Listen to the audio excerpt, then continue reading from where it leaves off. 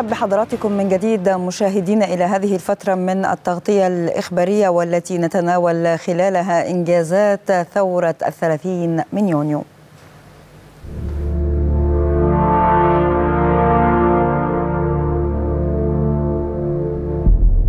البلد كانت محتاجة وقتها كتير لأنها كانت بتعيش فترة قاسية جدا من أتصور من أقصى الفترات اللي مرت على مصر. هتروحوا من ربنا فين؟ لما تضيعوا 100 مليون. قابلتوا تحدي في 2013 لضياع الدولة المصرية. السؤال أنا ضيعتكم؟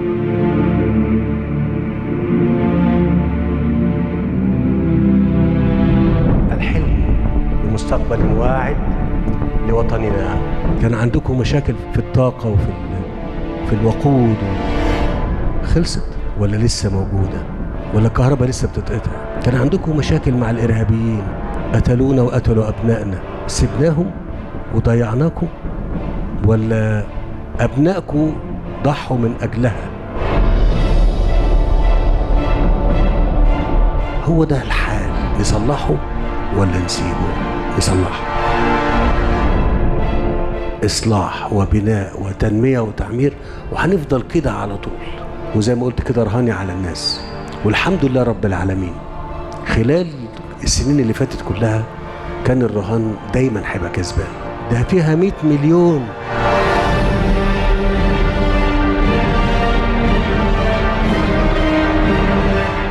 طب أنا بشكر المصريين. الدنيا كلها بتقول يعني مصر بسم الله ما شاء الله. إزاي في كل الظروف دي كورونا واللي بيحصل ومصر ما زالت بفضل الله بخير؟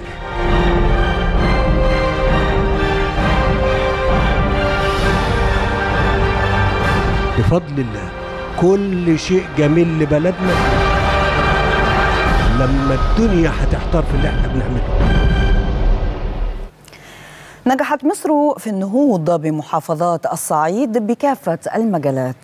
وجهت الدولة استثمارات ضخمة لتنمية الصعيد من خلال التركيز على معالجة الفجوات التنموية وإنشاء مشروعات عملاقة توفر فرص عمل للشباب.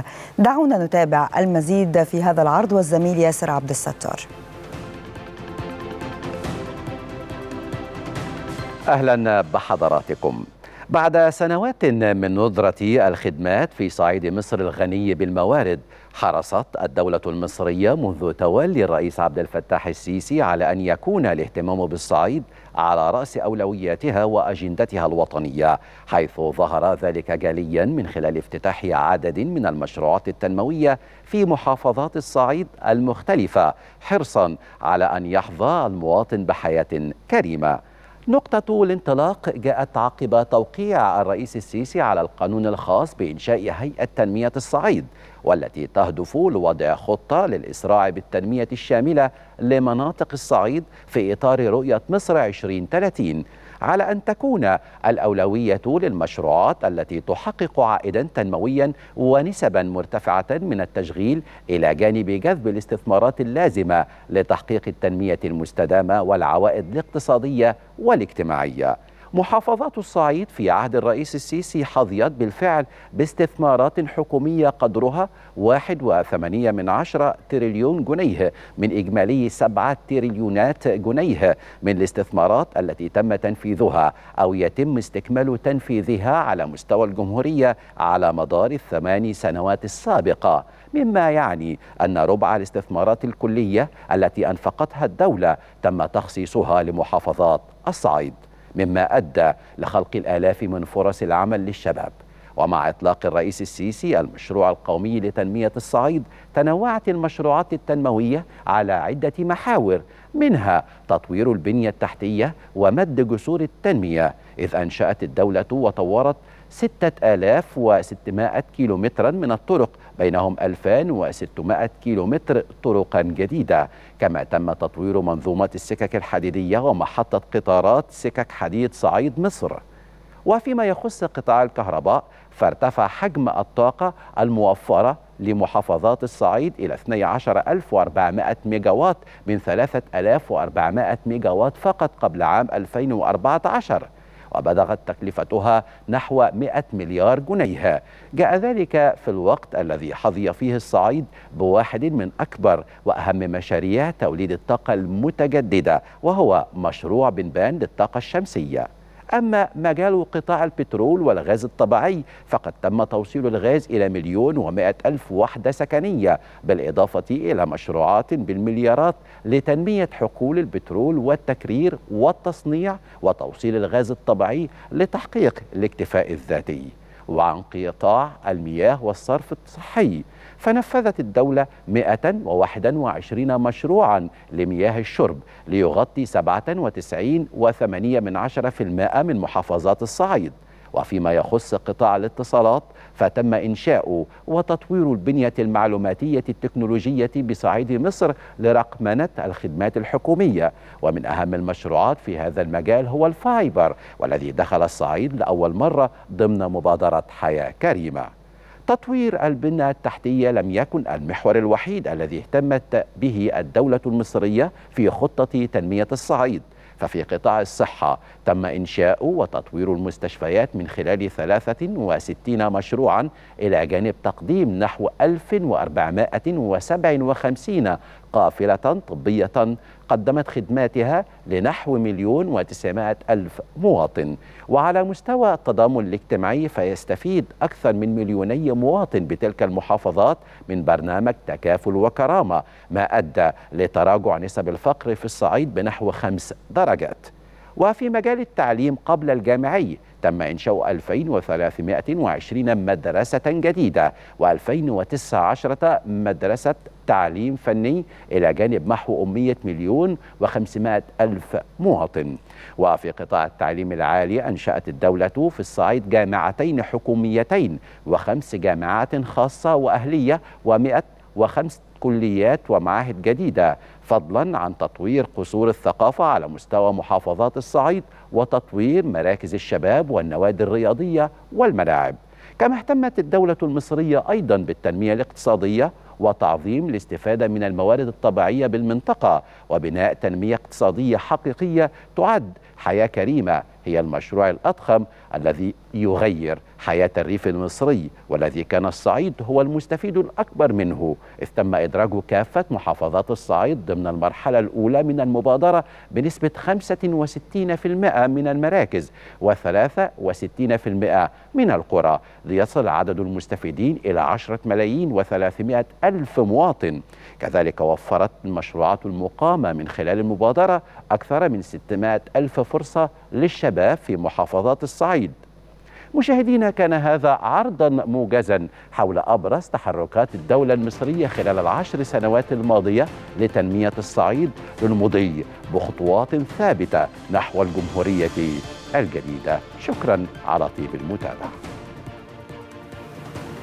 وينضم إلينا عبر الهاتف الدكتور محمد البهواشي الخبير الاقتصادي. دكتور محمد صباح الخير. ودعنا نتحدث عن النجاح الذي حققته مصر في النهوض بمحافظات الصعيد وضخ استثمارات كثيرة بها ربما تكون سببا في توفير فرص عمل لشباب كثيرة كما تابعنا في العرض السابق مع الزميل ياسر عبد الستار.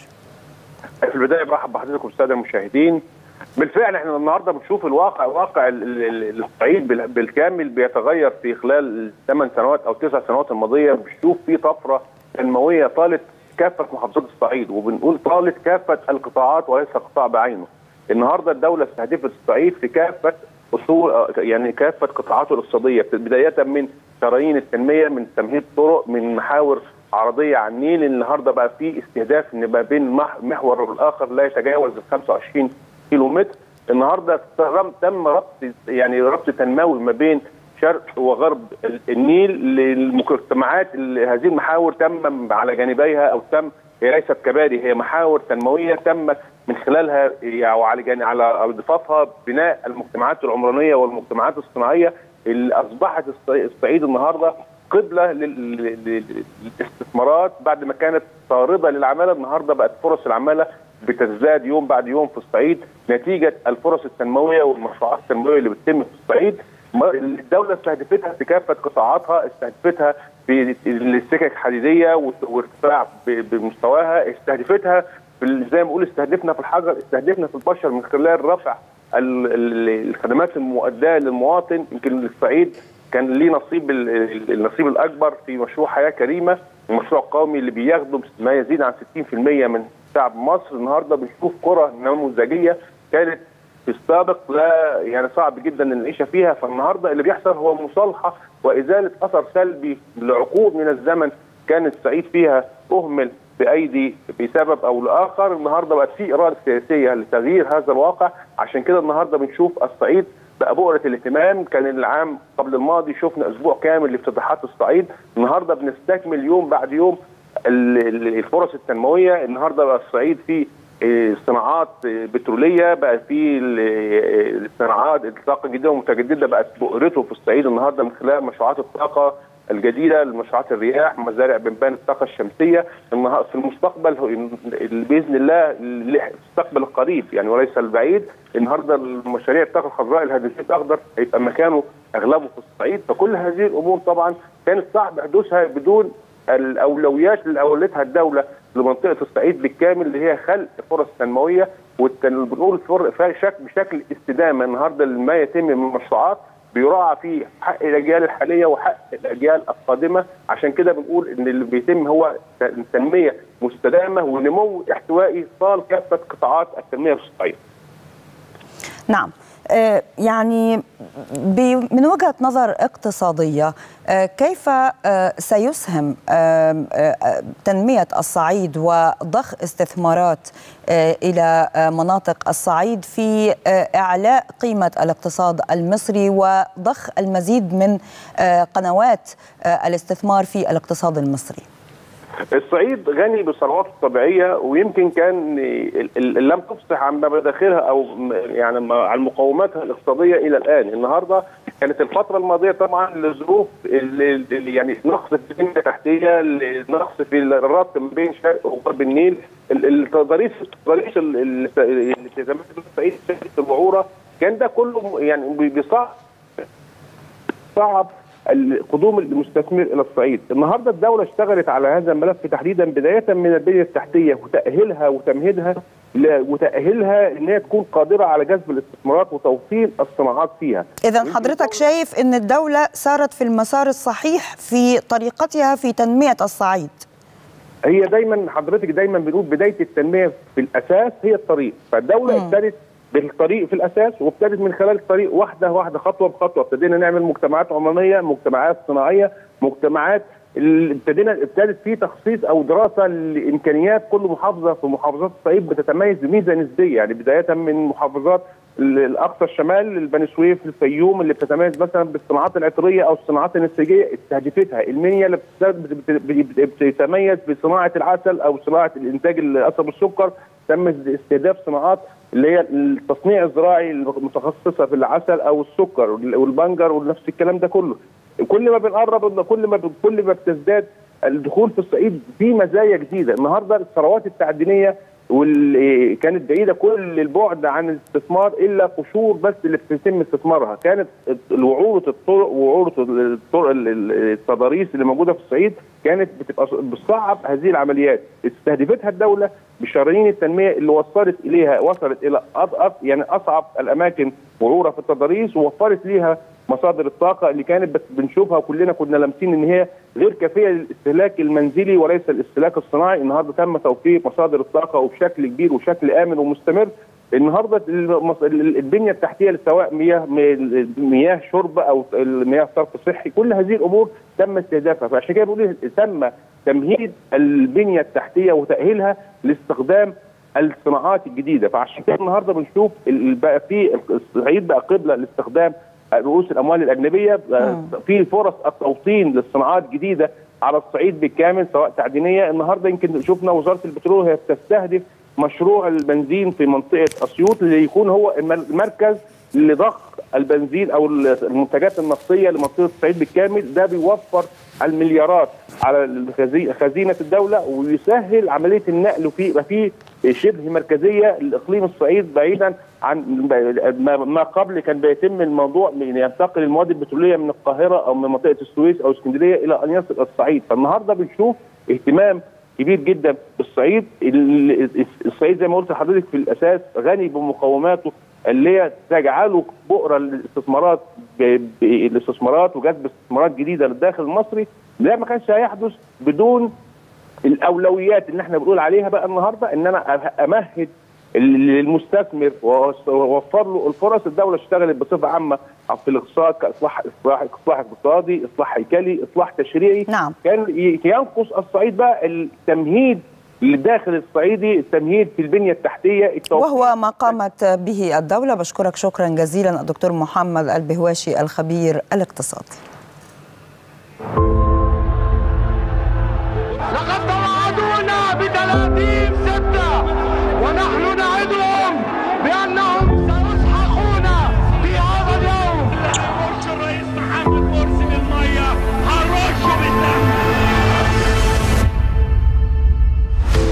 إن القوات المسلحة. لم يكن في مقدورها أن تصم آذانها أو تغض بصرها عن حركة ونداء جماهير الشعب المصري.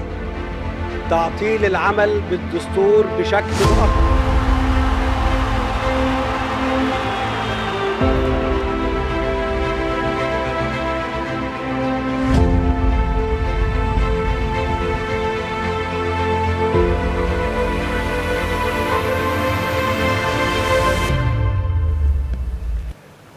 نجحت الدولة في تحقيق طفرة غير مسبوقة في مجال الاقتصاد.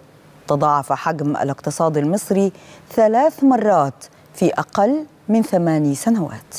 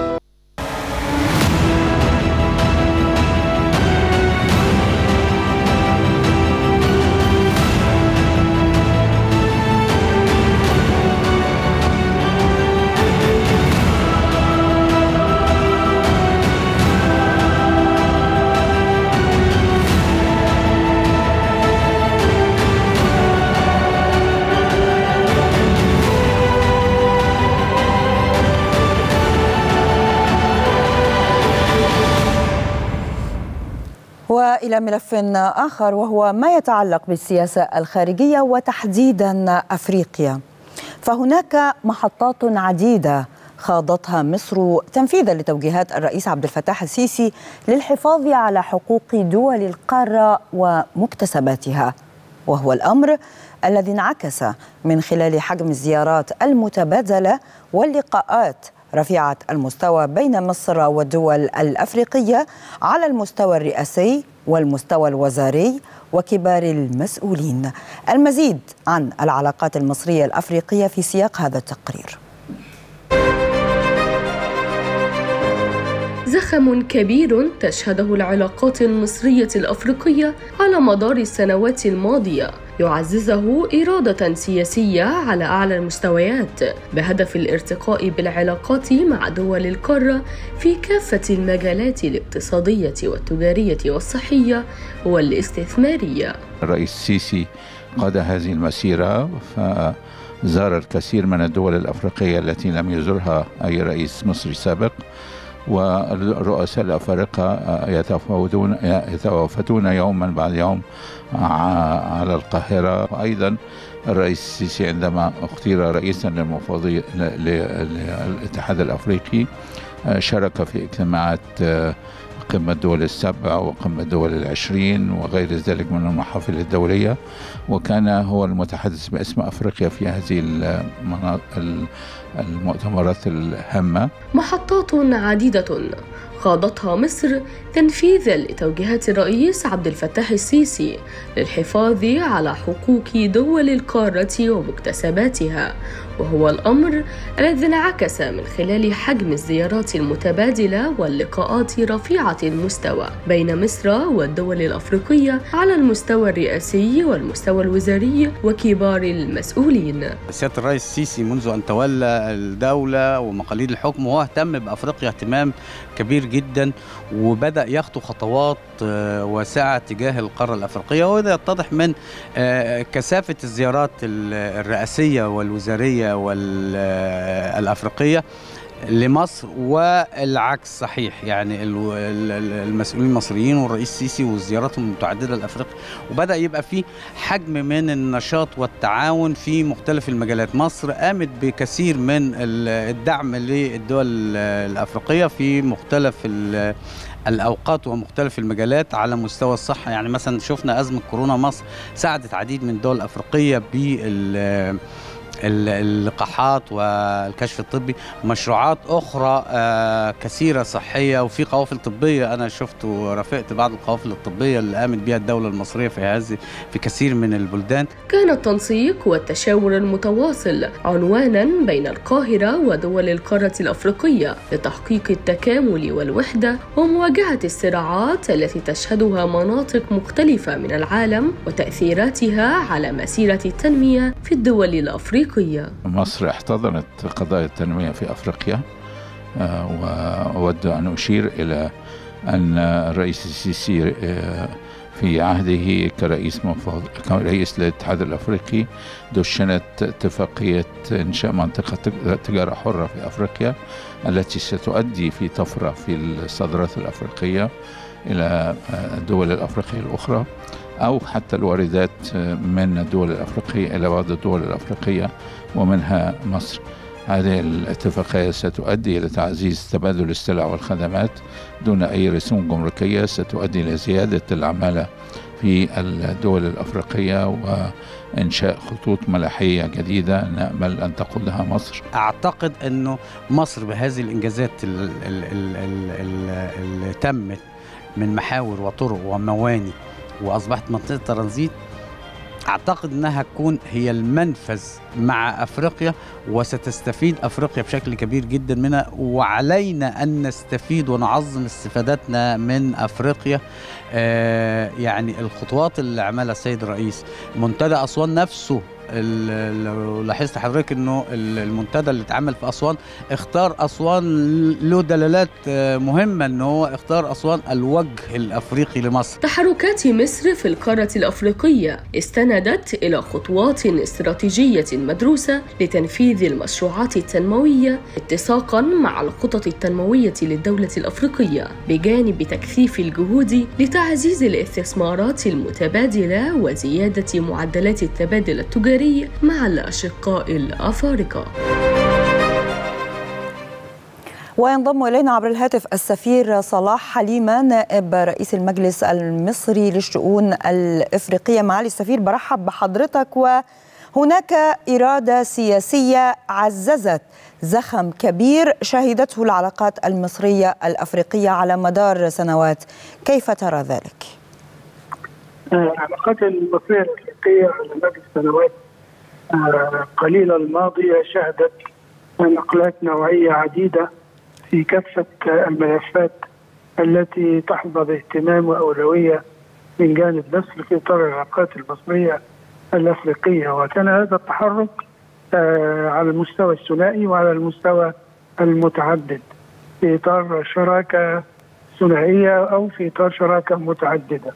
وأقصد بالشراكة المتعددة على مستوى الاتحاد الأفريقي على مستوى منطقة التجارة الحرة الأفريقية وعلى مستوى الكوميسا هذا فيما يتعلق بالقطاع الاقتصادي والتجاري والاستثماري. أما فيما يتعلق بالجانب الأمني والعسكري فكان هناك نشاط واضح وإيجابي وبناء فيما يتعلق بمكافحة الإرهاب والجريمة المنظمة والإتجار بالبشر ودعم النازحين واللاجئين والهجرة غير الشرعية. وأعتقد في هذا الملف مصر كان لها دور كبير وزخم واضح في منطقة الساحل ومنطقة القرن الافريقي.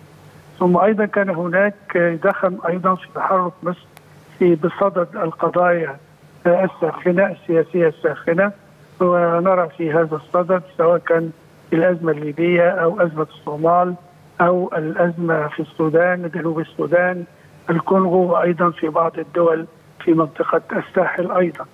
أما فيما يتعلق بالجانب الاجتماعي وأقصد بذلك ما يتعلق بالصحة والتعليم وبناء القدرات وتمكين المرأة والشباب لا شك أن هناك يعني إنجازات كبيرة تقال في هذا الصدد خاصة فيما يتعلق بمواجهة تداعيات جائحة كورونا وفيما يتعلق بتوزيع اللقاحات واستحداث نظم صحية وبناء قدرات وجلب التمويل اللازم لتوزيع اللقاحات وبشكل عاجل ومتوازن.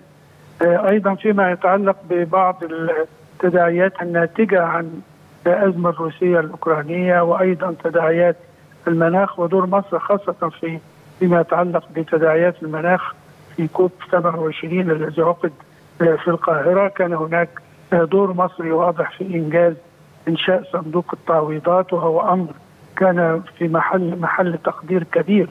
لأن على الدول الغنية أن تفي بما عليها من الالتزامات وإنشاء هذا الصندوق جاء إنجازا كبيرا بجانب ما يتعين على الدول الافريقيه الدول الغربية والغنية بتوفير ما يقرب حوالي 100 مليار دولار سنويا لمواجهة تغيرات المناخ وأيضا لدعم عملية 100 مليار دولار أخرى لدعم عملية التنمية المستدامة. أما فيما يتعلق بالجانب الخاص بالشباب وتمكين المرأة وبناء القدرات لا شك أن هناك إنجازات كبيرة جدا ربما في موضوع الصحة نتذكر أيضا المبادرات المصرية خاصة بمليون مليون نعم. صحة وأيضا فيروس سي وكل هذه الأمور أعتقد يعني تمثل إنجازات كبيرة لكن فيما يتعلق بالجانب الاقتصادي وهذا ما أود أن أركز عليه دور مصر في إنشاء منطقة التجارة الحرة القارية الأفريقية.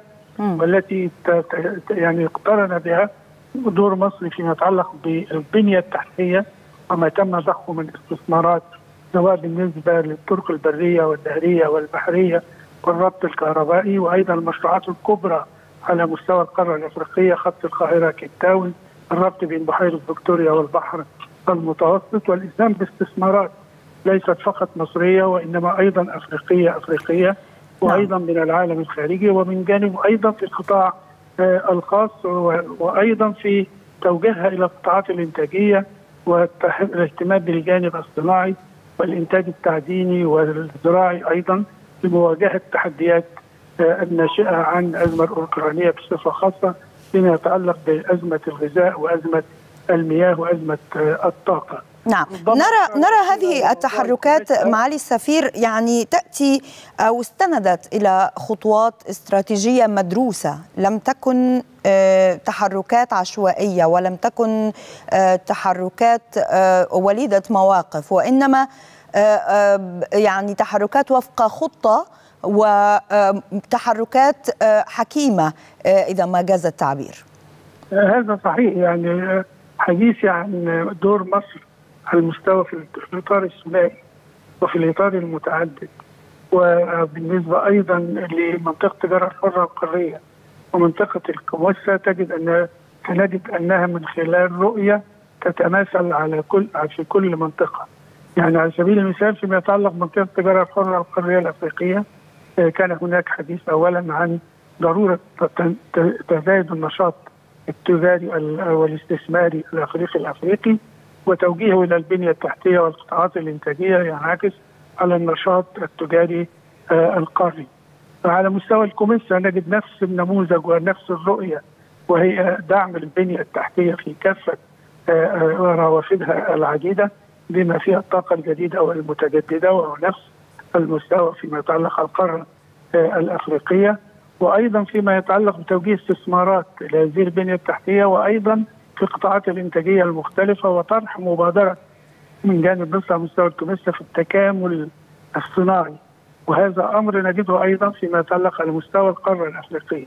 ما ما ما أود أن أشير إليه أن هناك رؤية مصرية في التعامل مع كافة الملفات الخاصة بالقارة الأفريقية في إطار التنمية المستدامة وفي إطار برنامج الاتحاد الأفريقي 2063 والذي يستهدف تحقيق الاندماج الاقليمي والتكامل القاري.